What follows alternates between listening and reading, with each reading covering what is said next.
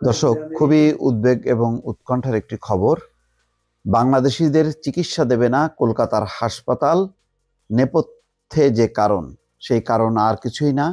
বাংলাদেশে যেই সংখ্যালঘুদের বিষয়টি নিয়ে এখন আলোচনা হচ্ছে, বাংলাদেশ এবং ভারতে, এবং সেটা একেবারেই তিক্ত পর্যায়ে চলে গেছে। বাংলাদেশের সংখ্যালঘুদের উপর অত্যাচার হচ্ছে। চিন্ময় দাসকে গ্রেপ্তার করা হয়েছে। এই ইস্যুটি এতভাবে প্রচার প্রচারণা চালাচ্ছে ভারতীয় কিছু গণমাধ্যম যে সেখানকার যে প্রতিষ্ঠানগুলো যারা বাংলাদেশি রোগীদেরকে চিকিৎসা দিত, এখন তারা আর চিকিৎসা দেবে না বলে সিদ্ধান্ত নিয়েছে। এমন একটি খবর টাইমস অফ ইন্ডিয়া জানাচ্ছে। তারা বলছে যে বাংলাদেশে সংখ্যালঘুদের উপর কথিত নির্যাতনের অভিযোগ তুলে কলকাতার মানিকতলার একটি হাসপাতাল জানিয়েছে, তারা বাংলাদেশি রোগীদের আর চিকিৎসা দেবে না। এটা তো খুবই মানবতা বিরোধী একটি সিদ্ধান্ত। রোগীরা যখন নাকি কেউ অসুস্থ হয় মানে সেটা যদি শত্রুপক্ষও হয়, তাকেও চিকিৎসা দেয়া হচ্ছে একটা মানবিক দায়িত্ব। এখন কলকাতার এই হাসপাতাল যে সিদ্ধান্ত নিয়েছে যে তারা চিকিৎসা দেবে না, এটা আমি জানি না, এটা তো একটা নজিরবিহীন ঘটনা। এই ধরনের সিদ্ধান্ত কীভাবে তারা প্রকাশ করে, আর ভারতের কর্তৃপক্ষ এটা কীভাবে দেখছে এখন সেটাই দেখার বিষয়। যে এন রায় হাসপাতালের একজন কর্মকর্তা জানিয়েছে, বাংলাদেশিরা ভারতীয় পতাকার অবমাননা করেছে, এই জন্য এই সিদ্ধান্ত নেওয়া হয়েছে। তো বাংলাদেশ দূতাবাসের হাই কমিশনের সামনে তো বাংলাদেশের পতাকাও অবমাননা করা হয়েছে। ডক্টর মোহাম্মদ ইউনুসের কুশপুত্তলিকা দাহ করা হয়েছে। তো এই ব্যাপারে বাংলাদেশ প্রতিবাদ করা হয়েছে। তো কিছু মানুষ করবে এই কাজগুলো এবং তার প্রতিবাদ করতে হবে। কিন্তু তাই বলে মানে কোনো হাসপাতাল চিকিৎসা দেবে না। এটা কি ধরনের অমানবিক সিদ্ধান্ত হতে পারে, এটা তো একটা নজিরবিহীন ঘটনা।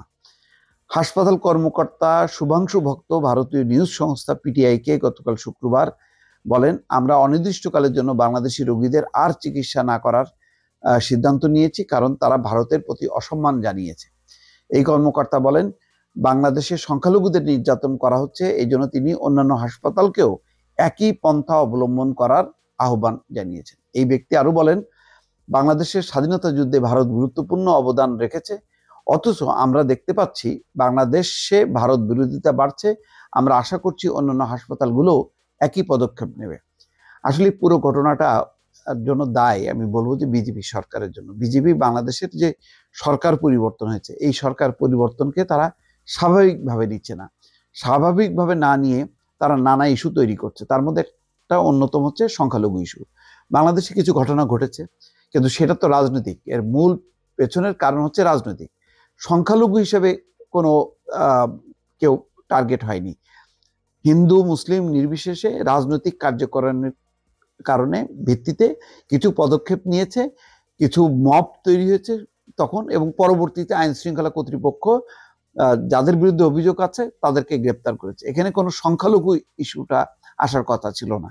কিন্তু এটি খুব সুপরিকল্পিতভাবে, অর্থাৎ মূল বিষয়টাকে পাশ কাটিয়ে সংখ্যালঘু ইস্যুটাকে সামনে আনা হয়েছে এবং চিন্ময় দাস সারা দেশব্যাপী যেভাবে সংখ্যালঘু সম্প্রদায়, বিশেষ করে হিন্দুদেরকে সংগঠিত করছিল, উস্কানি দিচ্ছিল, এতে একটা সাম্প্রদায়িক পরিস্থিতি তৈরি হচ্ছিল।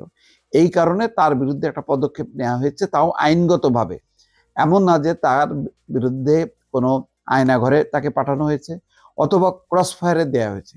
একেবারে স্বাভাবিক যে আইনি কার্যক্রম, সেটি করা হচ্ছে এবং তার পক্ষের যে আইনজীবী, তাদেরও অধিকার আছে যে তার জামিন চাওয়ার, অর্থাৎ আইনি লড়াই করার।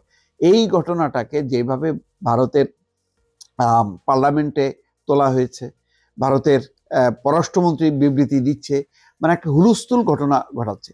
মূল কথা হলো যে এর পেছনের বিষয়টা হচ্ছে আন্তর্জাতিক সম্প্রদায়ের দৃষ্টি আকর্ষণ করা, যাতে পাঁচই আগস্ট যে আওয়ামী লীগের যে পরাজয়, সেই পরাজয়টা ভারত মনে করে তাদেরও পরাজয় হয়েছে। সেই পরাজয়ের প্রতিশোধ নিতে তারা নানা রকম ইস্যু তৈরি করছে এবং এইটা এমনভাবে তারা প্রচার প্রপাগান্ডায় লিপ্ত হয়েছে যে বিভিন্ন এই যে হাসপাতাল, যে হাসপাতালগুলো মানবিক কারণে শত্রু, মিত্র নির্বিশেষে সবার চিকিৎসা যেখানে নিশ্চিত করার কথা, এখন তারা সিদ্ধান্ত নিচ্ছে যে বাংলাদেশি রোগীদেরকে তারা চিকিৎসা দেবে না।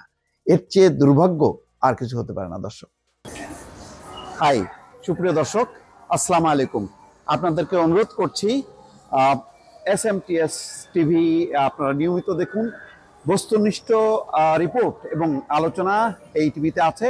অনুগ্রহ করে নিয়মিত দেখুন এবং S M T S TV চ্যানেলটি সাবস্ক্রাইব করুন। সাথেই থাকুন।